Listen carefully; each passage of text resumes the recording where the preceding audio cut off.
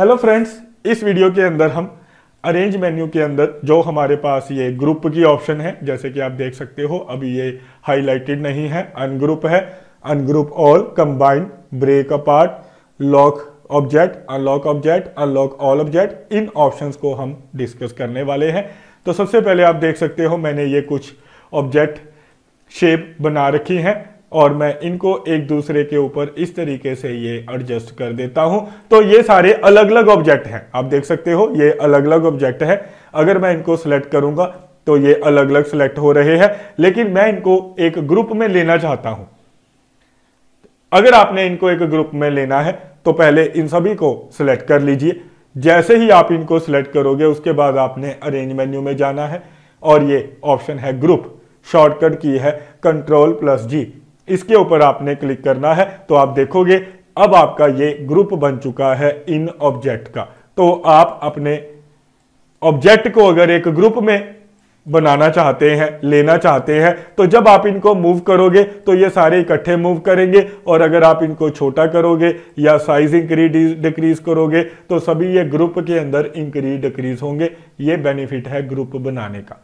और अगर आपने इनको अनग्रुप करना है तो अरेंज के अंदर जाइए। ये ऑप्शन है शॉर्टकट की भी यूज़ कर सकते हैं कंट्रोल यू अनग्रुप ऑल तो अब आप देखोगे, अगर आप इनको अलग अलग करना चाहें अलग अलग कर सकते हो, क्योंकि ये अनग्रुप हो चुके हैं, यानी अलग हो चुके हैं।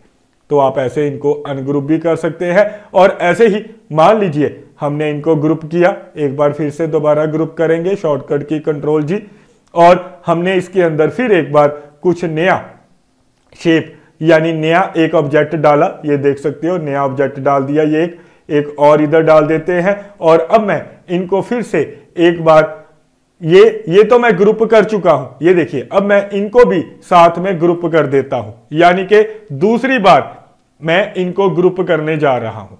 पहली बार किया, तीन ऑब्जेक्ट को, अब मैंने ये दो ऑब्जेक्ट और ग्रुप कर दिए, और अगर मैं इनको, अब अगर मैं अनग्रुप करूँगा तो क्या होगा? पहले ये, जो अभी मैंने ग्रुप बनाया था, ये दो नए एलिप्स रखे थे, ये इनको अनग्रुप करेगा।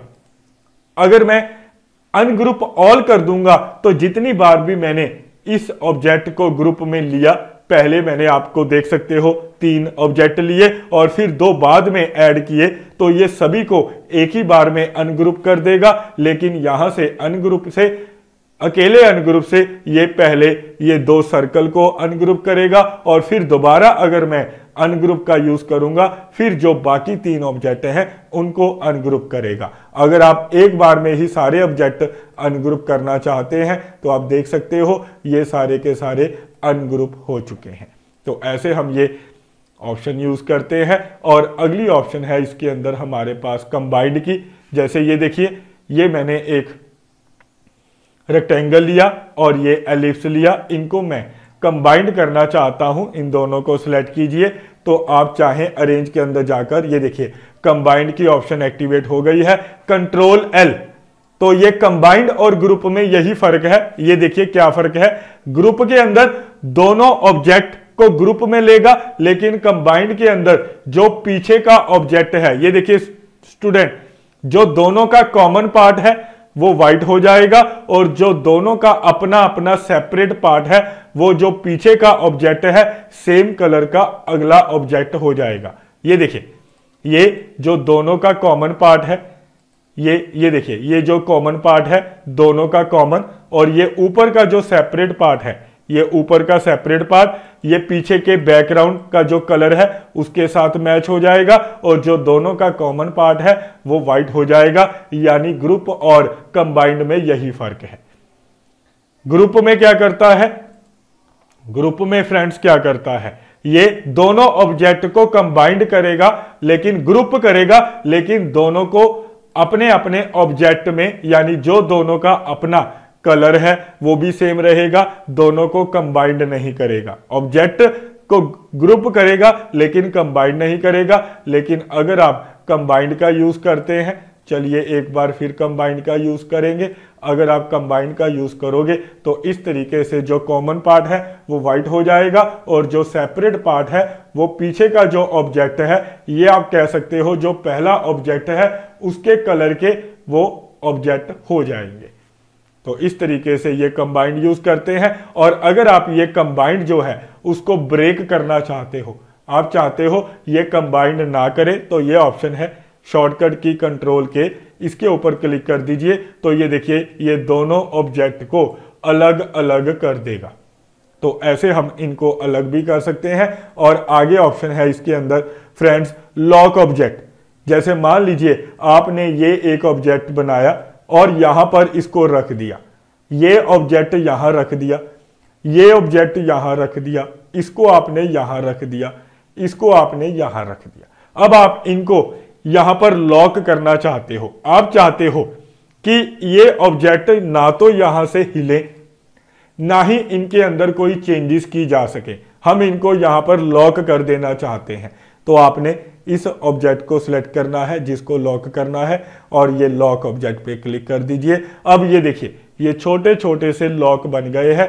ये ऑब्जेक्ट हमारा लॉक हो गया है। अब आप इसको उठाकर इधर उधर नहीं ले जा सकते, ना ही इसके अंदर कोई चेंजेस कर सकते हैं, ना ही इसका कलर चेंज हो सकता है। ये देखिए, इसका कलर भी नहीं चेंज हो सकता। इसको आप इंक्रीज डिक्रीज भी नहीं कर सकते, ये लॉक हो चुका है।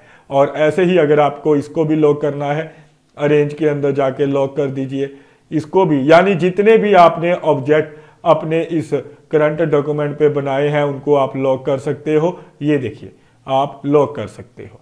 ठीक है? और ऐसे ही, अगर आपने ये जो ऑब्जेक्ट लॉक किए हैं, अगर आपने मान लीजिए, ये जो ऑब्जेक्ट मैंने अभी सिलेक्ट किया, इसको आपने अकेले को अनलॉक करना है तो आप इस ऑब्जेक्ट जिस ऑब्जेक्ट को आप अनलॉक करना चाहते हैं, उसको सिलेक्ट कर लीजिए, उसको अनलॉक ऑब्जेक्ट के द्वारा अनलॉक कर सकते हैं। और अगर आपने सारे के सारे ऑब्जेक्ट एक ही बार में अनलॉक करने हैं तो इस ऑप्शन पे क्लिक कर दीजिए।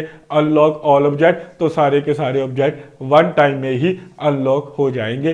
जैसे ये देखिए, मैंने वन टाइम में ही अनलॉक कर दिए। अब ये सारे ऑब्जेक्ट अनलॉक हो गए हैं। आप इनको मूव भी कर सकते हो। इनके कलर भी चेंज करना चाहे कलर भी चेंज कर सकते हो। जो भी आप इन पे ऑप्शन अप्लाई करना चाहें आप अप्लाई कर सकते हैं।